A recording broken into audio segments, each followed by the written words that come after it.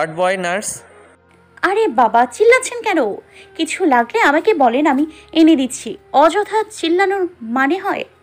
নীর আদ্রির কথায় পাত্তা না দিয়ে আবার চিল্লানি ছাড়ল। নীরের ডাকে শেষ হওয়ার আগেই একজন মাঝবয়সী মেয়ে হুড়মুড় করে ঢুকলো রুমে। নার্সকে ওইভাবে ঢুকতে দেখে নীর আদ্রি দুজনেই ভ্রু কুচকে তাকালো। নার্স আমার। নার্স আপনি যান এখান থেকে। নার্স আপনাকে আমি ডেকেছি সো আপনি আমার কথা শুনবেন। নার্স আমি আপনাকে যাইতে বলছি। আরে বাবা আমি যাব না থাকব। নার্সের কথায় নীর উত্তর দিতে যাবে তখনই আদ্রি ঠাস করে নীরের গালে একটা থাপড় বসিয়ে দিল। আমি আপনাকে যাইতে বললাম তো নাকি? So go I said get lost nurse ভোদর নীরও খানিকটা ভয় পাচ্ছে কিন্তু সেটা বুঝতে না দিয়ে মুখটা গম্ভীর করে রাখছে। নীর জানে আদ্রি রেগে গেলে কতটা ভয়ঙ্কর হতে পারে।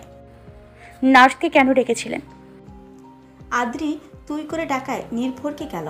তার আর বুঝতে বাকি নাই যে আদ্রি চরমভাবে খেপেছে। এখন কিছু বলা মানেই পাগলা কুত্তা খেপানো নীর কাপা কাপা গলায় পড়ে উঠল। আমি জনিকে ফোন দিব কিন্তু ফোন পাচ্ছি না তাই ফোন কোথায় জানার জন্য? তো আমি কি অদৃশ্য হয়ে আছি যে আমাকে না বলে ওই নার্সকে ডাকতে হবে? না মানে আসলে আই সেড আনসার মি আমি চাই না কেউ আমার উপর দয়া করুক। আমি নীর কিছু বলতে পারল না। সে তো অবাকের শেষ পর্যায়ে চলে গেছে। আদ্রি নীরের ঠোঁটজোড়া ছেড়ে দিয়ে নীরের গাল দুটো চেপে ধরে। দয়া করব নাকি কি করব সেটা নিতান্তই আমার ব্যাপার বুঝলি? ফার্দার যদি আমার কোনো কথা বা কাজে রাগ করে আমাকে ইগনোর করিস জানে মেরে ফেলব সোয়ার রাগে গিজগিজ করতে করতে নীর তো মহা অবাক। সে তো এতটাও ভাবেনি। নীর অবশ্য মনে মনে এনজয় করেছে আদ্রির রাগি ফেসটা আদ্রি নীরকে ছেড়ে দিয়ে ওর হাতে ওর ফোনটা দিয়ে রুম থেকে বের হয়ে যেতে নিলেই নীর ডেকে ওঠে। কই যাও গো রাগিনী? আপনি কথা বলেন আমি আপনার খাওয়ার ঔষধ নিয়ে আসি। বলেই সেখান থেকে চলে যায়। নীর মুচকি হেসে বলে ওঠে পাগলি বউটা আমার। Hello Johnny? জি স্যার বলেন। কোথায় তুমি? স্যার আমি আপনার বাংলোতে আপনাকে মেডিকেল থেকে শিফট করার জন্য যেগুলো প্রয়োজন সব ব্যবস্থা করছি। হঠাৎ ওইখানে কেন? স্যার এয়ার আপনার উপর যখন তখন অ্যাটাক করতে পারে। আর নিশ্চয়ই এতক্ষণে তার কাছে আপনার জ্ঞান ফেরার খবর পৌঁছায় গেছে। হসপিটালে আপনার জন্য সেফ না। আর চিন্তা করেন না। ম্যাম ছোট ম্যাম নৌমি আর ম্যামের কাজিনরাও আসবে। রিয়াজ স্যারও। জনি তোমার মাথা গেছে। নমি আমাকে এই অবস্থায় দেখলে ওর আর রিয়াজের কী অবস্থা হবে ভাবতে পারছ? স্যার আপনাকে একা রাখা সম্ভব না। আর প্ল্যানটা আমার না আদ্রিয়ান স্যারের। আর নাওমি ম্যামকে সামলানোর দায়িত্ব উনার। কি?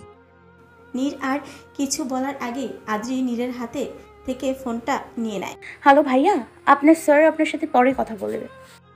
ঠিক আছে ম্যাম। আদ্রি ফোনটা রাখে নীরের পাশে বসে। এটা কি হলো? আমি কথা বলছিলাম তো। আপনার খাওয়ার টাইম হয়ে গেছে। আগে খেয়ে নিন তারপর কথা বলে। বাপরে আগে যদি জানতাম দুই চারটা গুলি খাইলে আমি আমার বউটার এত আদর যত্ন পাবো তাহলে সে কবেই খেয়ে নিতাম? আদ্রি সুপের চামচটা রেখে দিল এক থাপ্পড়। নীর ফাজলামো করে আহ বলে উঠল এইসব নটাঙ্কি আপনার ওপর মানায় না মিস্টার চৌধুরী। একবার নির্বলে ডাকবা না কখন বলে মারা যায়? বলো একটাবার ডাকবা। চুপচাপ স্যুপটা ফিনিশ করে নিন ঔষধ খেতে হবে। চান পাখি? নো মোর ওয়ার্ডস জো হুকুম বউ। আদ্রি মনের ভেতর ধোক করে ওঠে। বউ ডাকটা একদম বুকে যেয়ে লাগে তার। সুপের বাটিটা টেবিলের পাশে রেখে নীরের বুকে মাথা রেখে খেতে দেয়। কেন না বলে চলে গেছিলেন? একবার ভেবেছিলেন যে আপনি না থাকলে কি হবে? আমার কি করে থাকব? অভ্যাসটা আপনি তৈরি করেছিলেন এক প্রকার জোর করে আমার জীবনে ঢুকেছিলেন। জোর করে আমার ভাবনায় নিজের নাম লিখাইছিলেন। আর যখন আমি আপনার ভালোবাসায় পাগল হতে শুরু করলাম, আপনি আমাকে ধুয়ে চলে গেছিলেন। আই হেট ইউ নির আই হেট ইউ একবারও আপনি আমার কথা ভাবেননি। যখন ইচ্ছা হয় আসবেন আর যখন ইচ্ছা হবে যাবেন। কেন? আমি কি খেলার পুতুল? ইস আমি আমার পাগলিটাকে আমি এত কষ্ট দিয়েছিলাম। আমি তো বুঝতেই পারিনি। মাফ করে দিও পাগলিটা। হুম হয়েছে আদিক্ষেতা এবার ঔষধ খান। চোখ মুছে নিজেকে শান্ত করে নীরের মুখের সামনে ঔষধ ধরে। নীর চুপচাপ ওষুধগুলো খেয়ে নেয়। নবমী আমার কথা শোনো। কি শুনব? আমার ভাইয়ের এই অবস্থা আর আমাকে জানানোর প্রয়োজন কেউ মনে করো নাই। এই জন্যই বলিনি তো। তুমি পিসি চিন্তা করবা দেখে। কেউ বলেনি এবার চলো সবাই চলে আসছে তো আমার লেট হয়ে যাবে। তো নীরও হয়তো পৌঁছাই গেছে। আমি যাওয়া বা না যাওয়ায় কারও কি যায় আসে? মারবো কিন্তু এবার। তুমিও পচা পচা পচা। আর তুমি আমার পিসি মায়াবতী এবার চলেন ম্যাডাম। হুম। নীর শুয়ে থেকে নিজের রুম দেখছে। পুরো রুমটাকে হসপিটাল বানায় দেওয়া হয়েছে। এবার রুমের দেওয়াল থেকে চোখ সরিয়ে আদ্রির দিকে তাকায়। রাগে ফর্সা গাল আর নাকটা লাল হয়ে আছে। আর সে রাগ নিয়েই নীরের জন্য ফল কাটছে। বউ ও বউ শুনো না।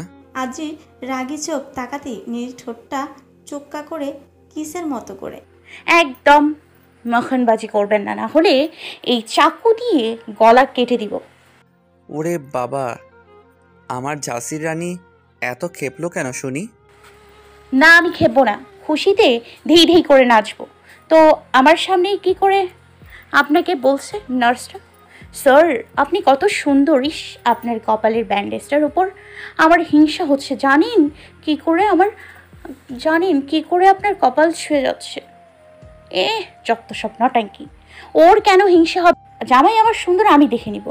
আমার জামাইয়ের কপালে ব্যান্ডেজ, আমি দেখে নিব। আমি হিংসে করব। ওর কি মনে হচ্ছিল? ওর কি হ্যাঁ মনে হচ্ছিল? চুলগুলো ছিঁড়ে টাকলা বানাই ফেলি। অসভ্য মেয়ে। নী- নীর নিজেকে আর কন্ট্রোল করতে না পেরে হাহা করে হেসে দেয়। নীরের হাসির শব্দ শুনে আদ্রির রাগ উঠলেও ওর হাসি মাখা মুখ দেখে সব রাগ হাওয়া। নীর ডান হাত দিয়ে আদ্রিকে কাছে টেনে নিয়ে আদ্রির কানের কাছে মুখ নিয়ে বলে আমি শুধু আমার জান পাখিটার তার আগে না আমার জীবনে কেউ ছিল আর না তার পরে কেউ আসবে। নীরের দিকে হাজার মেয়ে চোখ তুলে তাকালেও নীর শুধু তার জান পাখির দিকে তাকাবে। আর যেদিন এই চোখটা অন্য কোনো মেয়ের দিকে তাকাবে বা এই মন অন্য কাউকে চাইবে, সেদিন এই নীরের শেষ দিন হবে। কারণ আমার নিঃশ্বাস তুমি। আমি, মন তুমি আমার, সবটাই তুমি। আর এই তুমিটাই যদি না থাকো তাহলে বাজার থেকে মরে যাওয়াটাই ভালো। Because I am mad in your love আমি তোর ভালোবাসায় পাগল। আদ্রির অজান্তেই তার চোখ দিয়ে এক ফোঁটা পানি গড়িয়ে পড়ে। সে ভাবিনি কোনো দিন তার বাবা ভাই ছাড়া কেউ তাকে এতটা ভালোবাসা দিবে। এতটা এখন তো নিজের উপর নিজেরই হিংসে হচ্ছে। আদ্রি দু হাত দিয়ে নীরের গলা জড়িয়ে ধরে বুকের ডান সাইডে মাথা রাখে। বাম সাইডে গুলি লাগার কারণে নীরও আগলে নেয় তার ছান পাখিকে। সবাই চলে আসছে কিন্তু রিয়ান মিসমি মাইশা অর্নিল কয়দিন পরে আসবে? অর্নিল আর রিয়ান কাজের জন্য বাহিরে গেছে। আর মিসমি মাইশা তাদের এক্সাম চলছে। বর্তমানে সেখানে শুধু আছে নীর আদ্রি আদ্রিয়ান নওমি মেহের রিয়াজ। এই পাগলি আর কত কাদাবি? আমার তো সুন্দর বাড়িটাকে কি তোর চোখের পানি দিয়ে ডুবানোর ইচ্ছা হয়েছে নাকি রে? একটাও কথা বলবা না। কি অবস্থা করেছ নিজের হ্যাঁ? কে বলেছিল? অত ডেঞ্জারাস একটা কাজে যাইতে হ্যাঁ? আল্লাহ না করো যদি জনে ভাইয়া টাইম মতো না আসতো তাহলে কি হতো বলো তো? সরি তো প্রিন্সেসটা ভাইয়াকে মাফ করে দে আর এরকম হবে না। প্রমিস প্রমিস লাভ ইউ ভাইয়া। পাগলিটা? বাহ খালি নীরকেই লাভ ইউ আমি তো কেউ না। বিগ ব্রো তুমি তো খুব হিংসুটে দেখছি। হ্যাঁ আমি তো হিংসুটেই আমাকে কেউ ভালোবাসে না। কে বলল? আমি তো তোমাকে এতগুলো ভালোবাসি ভাই। হ্যাঁ খালি তুই আমাকে ভালোবাসিস। আমাকে আর কেউই ভালো লাগে না। আদ্রিকে এক সাইড থেকে হাক করে বললাম দ্যাটস নট ফেয়ার। একজন আমার বউকে নিয়ে নিল একজন আমার বোনকে। আমি কি আকাশ থেকে টপকালাম নাকি? আদ্রি তুই না আমার বুড়ি? ভাইয়া মুই আছি না? আমাকে তোমার চোখে পড়েনি নাকি? আরে তোকে কি করে চোখে পড়বে বলতো? ইঁদুরের মতো কোনায় কোনায় দাঁড়ায় থাকিস। এই নাও চলে এসেছি। পাগলিটা। ভাইয়া অনেক হয়েছে ভাই বোন। মিলাবো। এবার সব বাইরে চলো ওনার রেস্ট করতে হবে। আর এই যে মিস্টার আমি স্যুপ আনতে আনতে প্লেটে থাকা ফল শেষ করা চাই। সেখান থেকে যেতেই আদ্রিয়ান হো হো করে হাসে। নীর নীরের কাঁধে হাত রেখে বসল। বুঝলা নীর বোন আমার তোমাকে টর্চার করতে করতে ঠিক করবে। ওর সব টর্চার মাথা পেতে মানে নিব? আমার বোনের প্রেমে হাবুডুবু খাচ্ছ দেখছি ডুবে যেও না আবার। সে তো কবেই ডুবে গেছি। দেখিস বোন আমার কিন্তু মরিস। আরে সে তো ধানি লঙ্কা। বাপরে কি ঝাঁস নীরের কথা শুনে উপস্থিত সবাই হেসে দেয়। আদ্রিয়ান কোনো রকম নিজের হাসি থামিয়ে বলে ওঠে। এবার চল সব। সোনাবাসা যদি এসে দেখে আমরা এখনও যাইনি তাহলে খবর খারাপ করে দিবে। আদ্রিয়ানরা সবাই যাওয়ার কিছুক্ষণ পরেই আদ্রি আসে নীরের বেড থেকে ওঠার চেষ্টা করছে আর নার্স তাকে মানা করছে। আদ্রি তো নার্সকে দেখেই রাগ উঠে গেল। সে তো বলেছিল নার্স না রাখতে কিন্তু আদ্রিয়ান শোনেনি। সে নাকি একা পারবে না তাই একে রাখা। আদ্রি কোনো রকমে নিজেকে শান্ত করে ভিতরে ঢুকে আদ্রিকে দেখি নার্স তার সামনে যেয়ে বলে দেখেন ম্যাডাম স্যারকে মানা করছি গোসলের জন্য। কিন্তু স্যার মানা শুনছেই না। ওই অবস্থায় বেড থেকে উঠতে যাচ্ছে। আদ্রি কিছু বলতে যাবে? তার আগেই আহ বলে চিৎকার করে উঠল নের গুলি লাগা পা ফ্লোরে রাখায় পায়ে চাপ পড়ে আর রক্ত বের হয়ে আসে। নের পড়ে যেতে নিলেই আদ্রি তাকে ধরে ফেলে বেডে বসায়। দিয়ে দেয় এক থাপ্পড়। নার্স অবাক। কি শুরু করেছেন আপনি হ্যাঁ? এখন যদি আমি না ধরতাম কি অবস্থা হতো আপনার? উম, ভেবে দেখেছেন? আর এই যে নার্স, মুখটা বন্ধ করে ফার্স্ট এড বক্স আনেন, দেখি। পা- টা বিছানায় রেখে তার নিচে একটা বালিশ দিয়ে দেয়। ব্যান্ডেজ করার জন্য নীর থ্রি কোয়ার্টার প্যান্টগুলো পরে আছে, যাতে ব্যান্ডেজে না লাগে।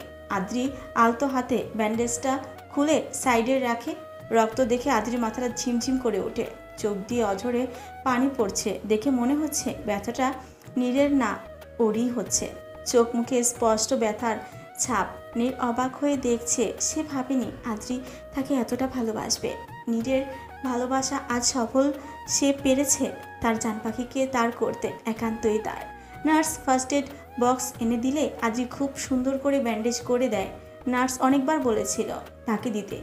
সে করে দিবে। আদ্রি শেষবার এমনভাবে তাকিয়েছে যে নার্স বেচারি পালিয়েছে।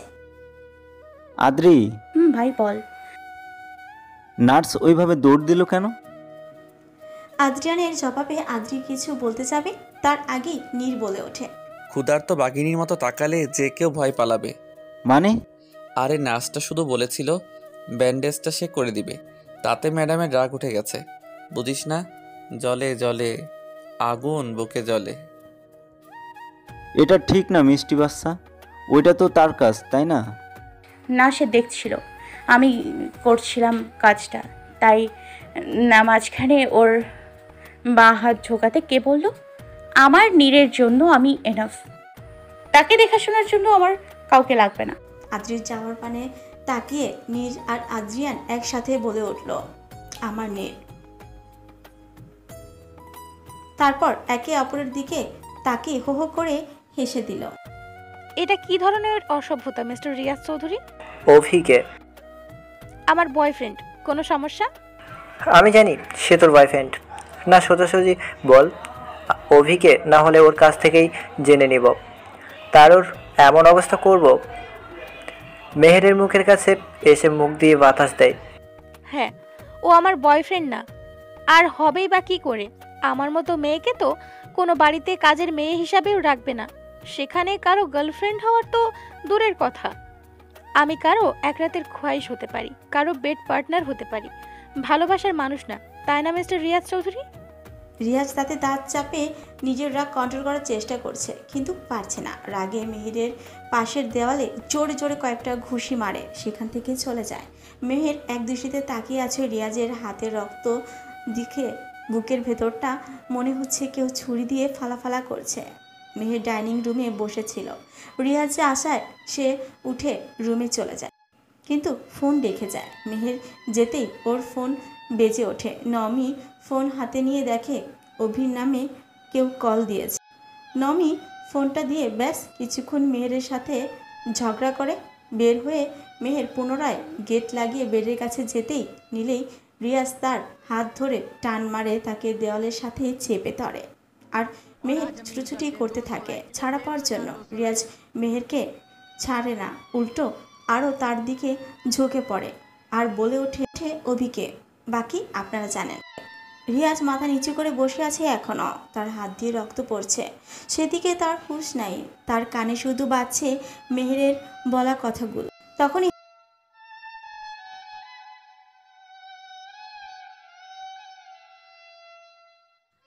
পর্বটি যদি আপনাদের ভালো লাগে তবে একটা লাইক করে দিয়েন আর কমেন্ট করে আপনার মূল্যবান মতামত আমাদের জানাবেন।